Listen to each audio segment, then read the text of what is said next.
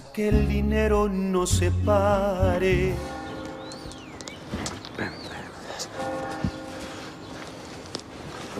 ¡Ey, Rafa! Chubo, carnal. ¿Dónde está el carro que tengo que llevarme? Es ese carro negro que está allá. El hombre ya sabe que tú vas. Solo toca la ventana y dile gallina grasosa. Eh, ¿Gallina graciosa? Grasosa. Ah, ah, grasosa. Oye, ¿y yo por qué le voy a decir así a un tipo que ni conozco? Porque es el alias del tipo. ¿El alias? El apodo del que no quiso hacer el viaje. Ah, y es la clave para que te identifiques. Digo, ¿o de qué otra manera quieres que te reconozca? Bueno, ¿y por qué tú no me acompañas a hablar con el cuate ese? No, pues, no, no, ¿no quieres que me lleve el carro a Acapulco y me gane yo el billete? Ve, hombre. Mira. Bueno, ¿y aquí en esta dirección quién me atiende o por quién pregunto o qué? Ahí van a estar unos sujetos esperándote. Tú les entregas el coche y te regresas de volada. Ahí van tus viáticos, lo de la gasolina, las cuotas y también para que comas algo. Ah, otra cosa. No se te vaya a ocurrir correr porque hoy en día se están poniendo muy difíciles en los controles de velocidad. Tú ve a los letreritos esos, los que están en la carretera. No te pases. Claro, si dado en caso te llegan a parar, saltas del coche, hermano. A correr y piérdete. ¿Cómo, cómo, cómo que salte del carro? Claro, para que no te agarren. Y si Dios no lo quiera, te apresen, tú calladito te ves más bonito. No sabes nada, no, no conoces a nadie, y menos a mí. Nosotros te buscamos algún abogado y listo. Eso no va a pasar, hombre. Porque como te digo, entre semana casi no hay policías. Lléguele, campeón. Órale. Vámonos.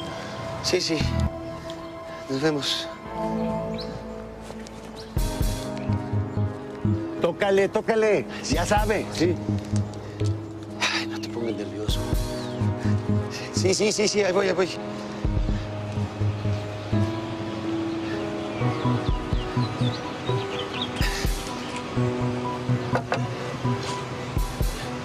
Gallina graciosa.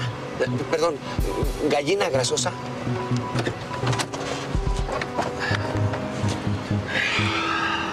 Gracias a Dios que llegó. Sí. Sí, ahí se lo dejo aprendido. Eh, sí, gracias.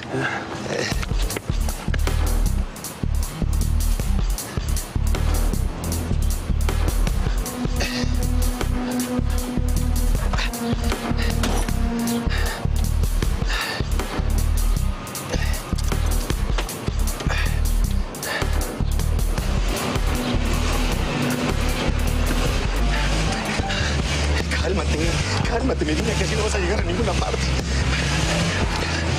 Ay, eh, maldita sea. ¿Se me olvidó manejar o qué? Ay, ¿por qué tuve que estrellarme contra Alejandra Álvarez del Castillo? ¿Por qué me dio por sacarla de ese maldito barranco? Claro, con esas piernotas. Claro, que esas piernas también me quieren meter al bote. Eso si no me meten antes por la basura esa que traigo aquí en este coche. Ay, pues, ¿qué tienes? A ver, prende. Eh, yo no fui, yo no fui. Yo ni voy a Acapulco. Eh, yo no soy la gallina grasosa. Eh, no sé qué traiga el carro. ¿Qué habla, cuate? Me preguntaba qué le pasa. Si necesita que lo ayude, que le meta mano al carro. Eh, no, no, no, no, no, no, no, le vaya a meter mano al carro. Este carro se compone porque se compone. Basta, a ver, espéreme tantito. Ahí está, ahí está, ya ve. Ya se prendió. Nos vemos. Métale bien el clutch. Ah, sí, sí, el clutch. ¿Dónde diablos está Pepeto? Ándale, ahí está. ¡Eh, Pepeto! ¡José Tomás! No me hables, no me hables, no te conozco. ¡Hermano! Eh, hermano, yo voy a... Oye, hasta aquí llegué. Oye, espérate, espérate, espérate. Yo no voy a ninguna parte. Súbete ese carro, llévate. Toma, te dejo tu coche y gánate tú la lana. Hermanito, no me hagas esto. Llévate ese carro de aquí, llévatelo a tu casa. ¿Qué, qué? ¡Estás loco! ¿Cómo crees que me lo voy a llevar a mi casa? Ahí están las llaves y el sobre y a ver cómo le haces. Acuérdate, no excedas velocidad, ¿eh? Los Rafael. Medina, No, por favor, ¿qué esa mujer te va a meter con las Un rejas. abogado, a ver quién te lo consigue. ¡No tienes escapatoria! ¡Te van a hundir! Che, ¡Nunca vas a conseguir esa la nota!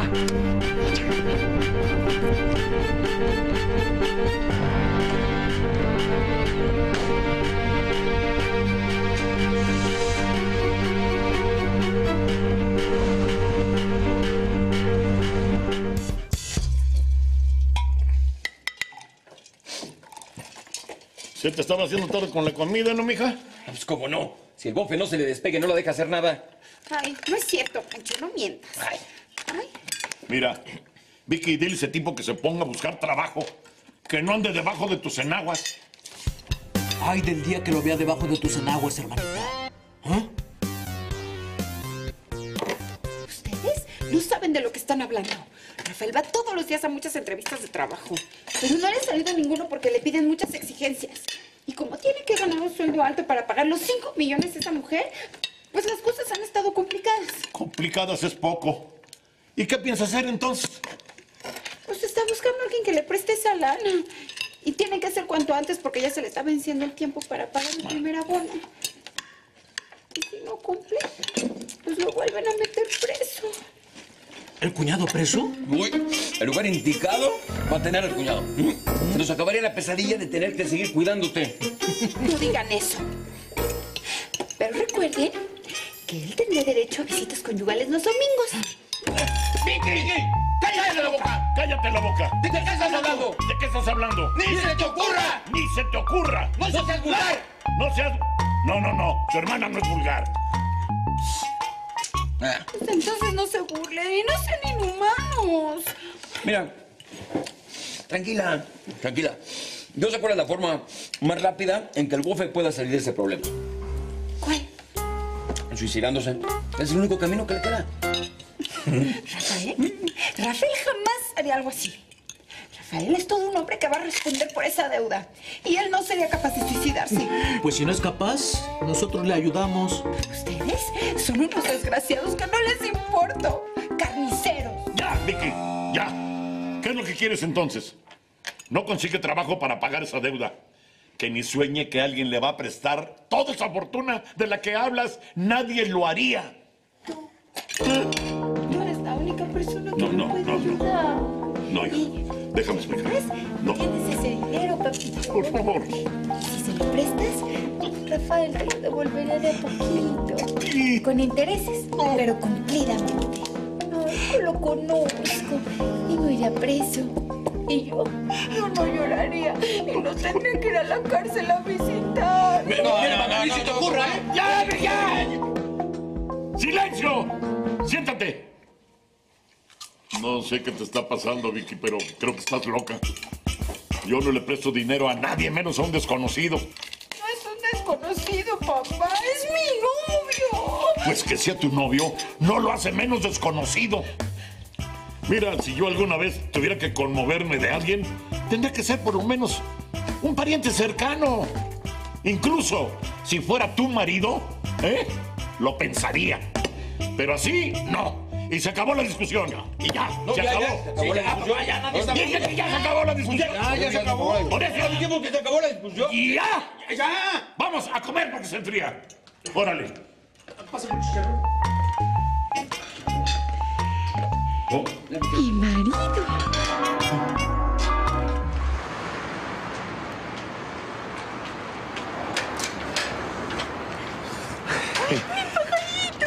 Hola, pajarito.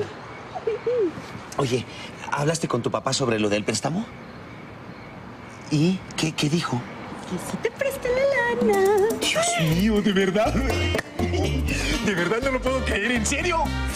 Ay, Diosito, gracias. Me van a prestar esa lana, me van a prestar esa lana. me van a prestar esa lana. ¿Qué, qué, qué, qué, qué? ¿Con quién? Conmigo. Al principio le estaba renuente. Que cómo le voy a prestar dinero a un desconocido. Que tú apenas eres mi novio. Pero que ya estando casados, esos 5 millones se los prestas en yerno. A Rafael Medina. Ay, mi amor, yo sabía que todos ibas a necesitarme, pajarito. Se acabaron los problemas. Eh, sí, pero oye, ¿casarnos? Sí, ¿por qué? ¿No quieres casarte conmigo? Ay, No, no, no, no, no, no, no, no, no, no, no es eso, no es eso. Oye, oye, tú sabes que yo te adoro y que mis intenciones son serias contigo, pero eh, no me parece sano que nuestra relación la mezclemos con este asunto de la lana. Como quien dice, nos estaríamos casando por dinero y, y eso eh, no suena bien. No, no, no, a mí eso no me importa porque los dos sabemos que es por amor. Eh, eh, sí, pero tendríamos que casarnos en menos de un mes y no, hombre, no Ya, ya, ya, alcanzamos. Se puede organizar todo. Y nos iremos en luna de por ahí los dos solitos y hacer esas cositas que hace rato no hacemos. ¿Hace rato? Hace por lo menos dos meses. Y quién sabe cuánto más. Ya ni me acuerdo cómo. Bueno, pero casados es otra cosa. Nos mantendremos encerrados en una habitación de noche. Eh, pajarita, pajarita, yo creo que nos estamos apresurando. Mira, así nos hacen las cosas. Yo te agradezco mucho lo que has hecho y a tu papá también. Pero nosotros tenemos que casarnos en su momento, sin lana ni negocios de por medio. Estoy rechazando el préstamo. Eh, eh, el matrimonio te lo acepto más adelantito. El préstamo es el que ahorita no, hombre. Pero, paja- pajarito, te vas a ir a la cárcel. No, no, no, no, no, no, no, no me voy a ir a la cárcel. Mira, hay más opciones. ¡Ya estás afuera! Ya va para adentro, don Gastón. Mi amor, ya métete, ya métete. Eh, Mira, yo te llamo mañana. Yo te llamo mañana, no te angusties, no te angusties. Vas a ver. Yo te llamo mañana, ¿sí? Ven. A- a- adiós, pajarita, adiós. Adiós.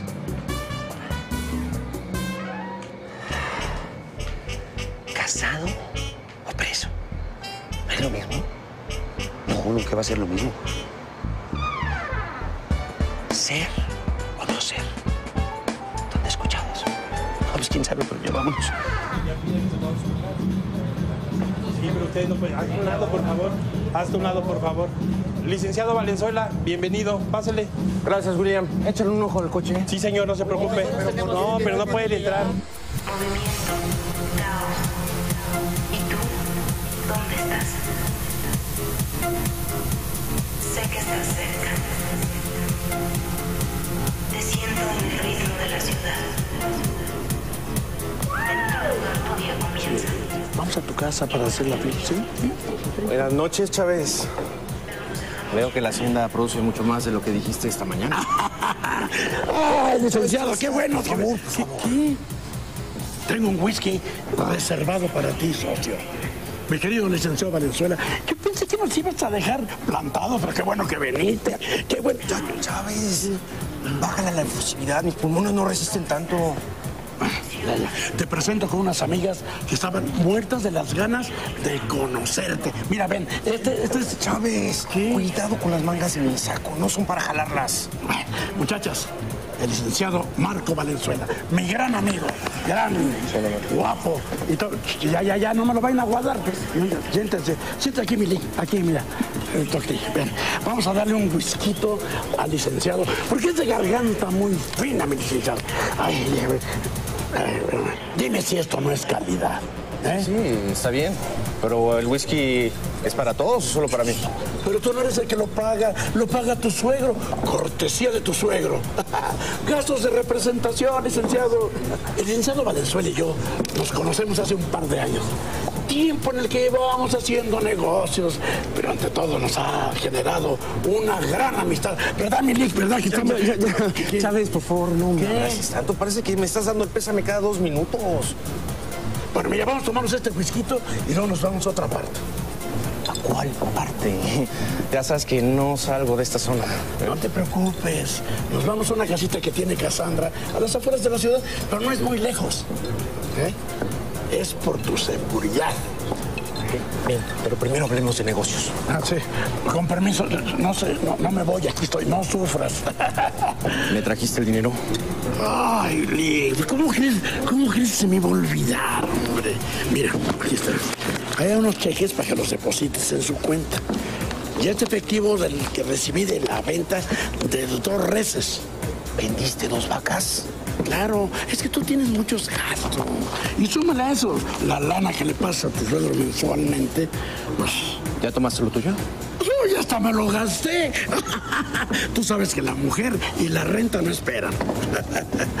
Oye, Lick, ¿guardaste bien las cuentas que dejé de la hacienda? Porque me da terror que tu suegro vaya a revisarlas. O peor, que tu novia las vea. Con todo respeto, pero se ve que ella es una pantera. ¿no? Y esa sí sabe de números. No me creas ingenuo, Chávez. Obviamente que esto, en manos de Alejandra, significaría cadena perpetua para ti. Calla. Una masacre para mí. Calla, bueno. Lo importante es que nadie se dé cuenta de la sacada de las reses. ¿eh? Eso no te preocupes, eso yo lo manejo con mucho cuidado. ¿Estás seguro que a ella no le va a dar por averiguar cuándo termine el embargo? Pues yo le dije hoy que en un año lo levantaban. Y recuerda que esto se acaba en un par de meses. Si te casas con la chava antes de eso, mira, feliz.